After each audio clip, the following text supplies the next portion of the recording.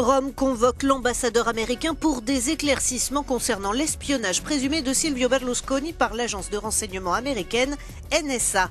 L'ancien chef du gouvernement italien et certains de ses collaborateurs auraient été mis sur écoute en 2011.